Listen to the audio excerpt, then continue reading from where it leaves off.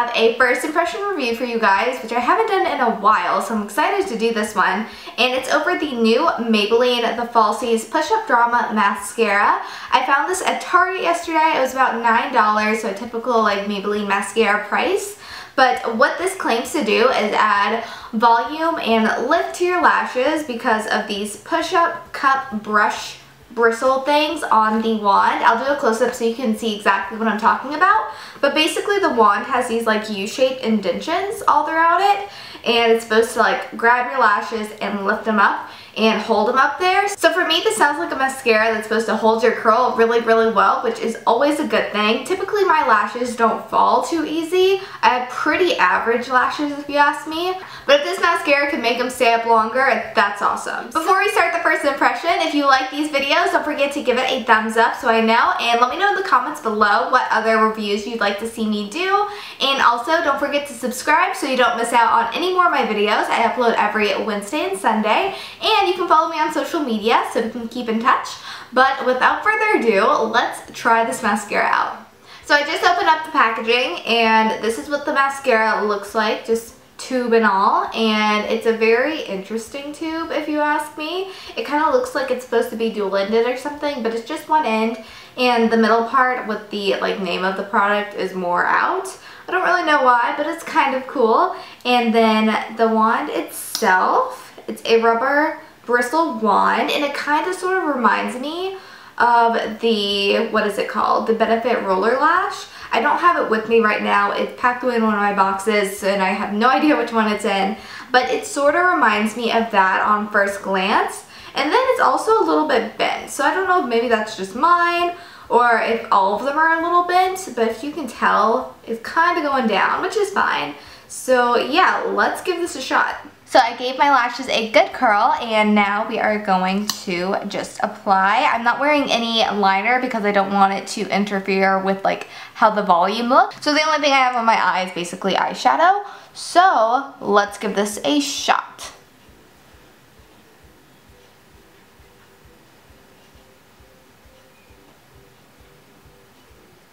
So this is what it looks like after one coat and these are my lashes obviously with mascara and then without and it definitely makes my lashes look really long and kind of fluttery which I like but I don't think there's like too much volume that was built up and of course I did get a little bit on my lid but I'll clean that up later. But I do like the length it gave, but I do not think that there's too much volume here. And for a variation of the falsies, I was expecting a little bit more. I'm to put mascara on my other eye and then I'll come back to show you the results. Alright, so I ended up doing two coats of mascara because I was reading on the directions not to let the mascara dry between like different coats and I didn't want to, you know, screw it up. And I was trying to get more volume out of it, but I feel like it just looks a little clumpy. This eye definitely looks better than this eye, but I just, I don't know, I'm not very impressed. What do you guys think? I don't know if I feel like this is anything special. So from far away, you can definitely tell that the mascara is there, but I still feel like it just looks a little too spidery for my liking, and it still is wet, which is driving me nuts because I feel like it's getting all over my eyelids, and it's stressing me out.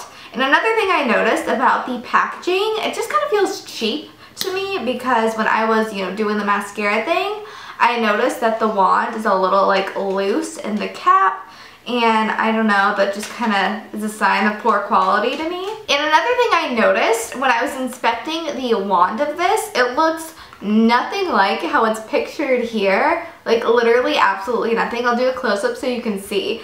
But I feel like that's a little like misleading because that's the whole reason why I bought this mascara is because I saw the wand and how it looked different I guess. Um, but when you actually use it it looks like a pretty standard mascara wand. But I will say what I like about this mascara the formulation is very light and it doesn't feel like you're wearing a ton of mascara. I mean right now I know I'm wearing a ton of mascara but it doesn't feel like I'm wearing anything which is nice. So it's very comfortable to wear um, but other than that, I can't really think of any positives right now compared to other mascaras I own, both high-end and drugstore. This one just isn't impressing me right now. With that said, I am still going to check in with y'all at the end of the day to see if it's flaked off or smudged or held my curl at all and we'll see just how it wears. So I will see you guys in a couple of hours. So it's the end of the day and I'm back to check in to see how the mascara has held up and looking close up at it, the curl is definitely still there so that is a good thing since that was its main claim I guess. But I also noticed on my bottom lashes, it smudged a little bit and flaked and stuff. Not too bad, but I don't think this is the best mascara for the lower lash line. Unless you get the waterproof one, then hopefully that one should be fine. But just the original plain formula, um, it smudged a little down here. Even though this mascara held my curl all day, I don't think I would recommend it to my friends if they were in the market for a new mascara, solely because I don't think that this is anything special. If you want to try it, go for it. It's not a bad mascara, but there are definitely better ones out there, and I would definitely give this a thumbs down because I'm just not too impressed and I can live my whole life without it. Alright everyone, so that is everything for this first impression review. I hope you guys liked it. If you did, don't forget to give it a thumbs up and let me know in the comments down below what you want to see next on my channel. But that is everything. Have a wonderful day and I will see you guys later.